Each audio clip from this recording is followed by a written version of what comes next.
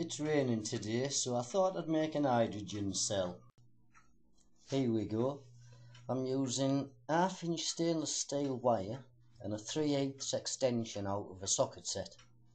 I'm just taping the wire to the extension bar, makes it easier to twist. On the extension bar I've got two bits of tape, black tape.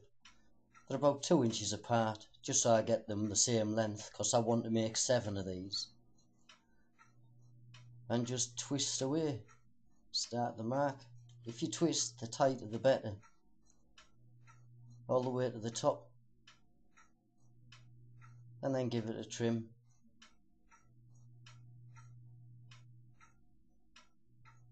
And then just get a couple more made. And that's it. Right, whip the tape off. I usually bend the ends over if I'm taking it off. There you go, there's one. After a minute, right, I'm going to give them a bit of a stretch to make them about the same size as the jar I'm going to use. If you stretch them a bit far, you can soon squish them up a bit. Here's the jar.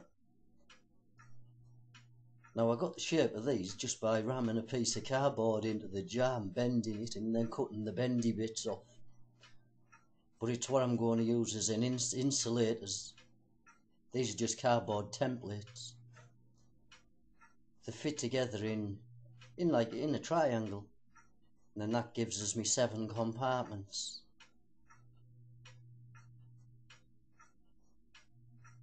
And I, have found, I've got some um, acetate. I'm going to cut these out of acetate. There you go, general idea of how they're going to fit into the jar. Seven springs all about the same length and the cardboard shoved in the jar.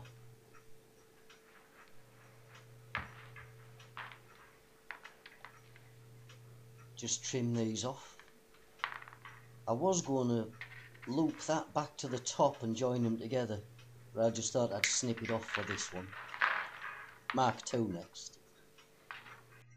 I'm just checking them for coils which could are touching and things like that, just to make sure most, nearly all the coils are apart.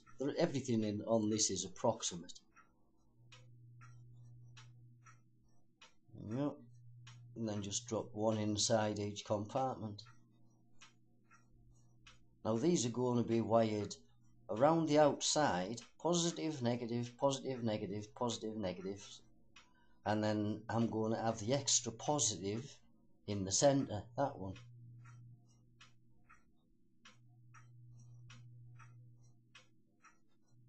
Let's make sure they're all going. And there about we have it. That gives you an idea of how it looks. Obviously the cardboard's going to be replaced by plastic. Or the acetate. I think it's acetate. There we go. Well, we'll call it acetate. Here we go. I've used the cardboard templates just to just to cut the shape out of it really. All measurements are within about two inches.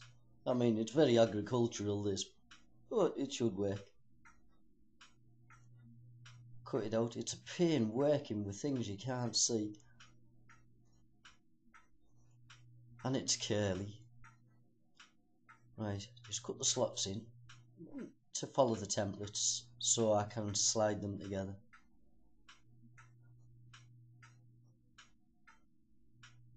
Right, now across the curly, if I went up each leg and if I folded it, if I folded it in half and creased it, and then it just stiffened them up a bit, it made them easier to work with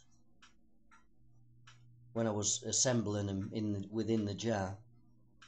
Yeah, just fold it in half and give it a squish and then it stays in pretty much the same place. I mean, it's, it's been rolled up for about 20 years. There you go, start sliding them together. and get them shoved in the jar, hopefully.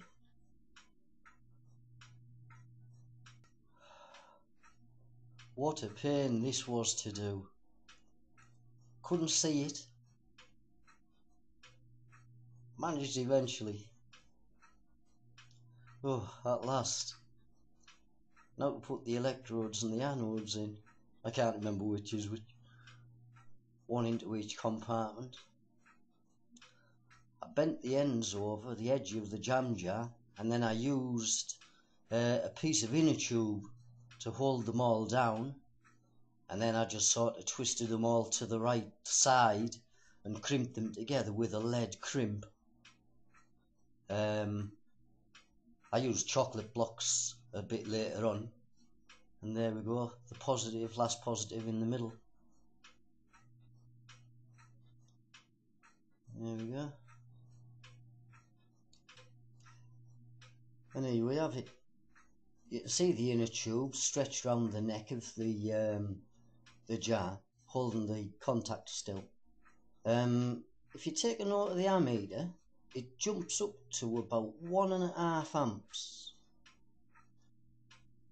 Now, in the jar, within the jar, um, it holds just over a pint of water, and I added about a half a teaspoonful of uh, bicarbonate of soda and it's running off a 12 volt battery charger at about one and a half to two amps. And it's bubbling there.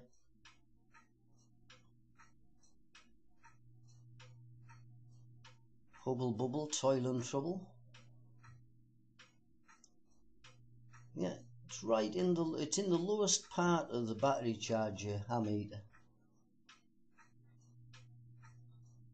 View from the top. I just have to make a gas container now. I'll have to I'll have to do another video of that.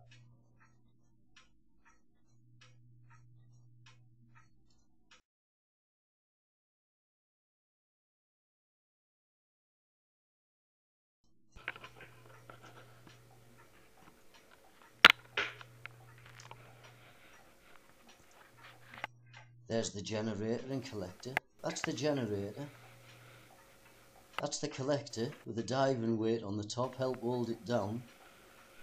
And then the gas bleed off goes into the cup. I put a little bit of washing up liquid in there to get the bubbles. It's been bubbling for a few seconds. It's working quite well.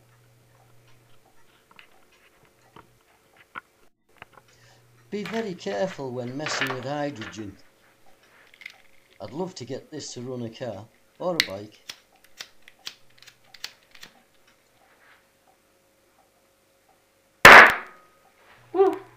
Ta-da!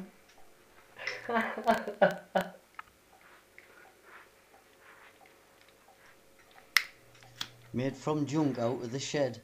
Thanks for watching.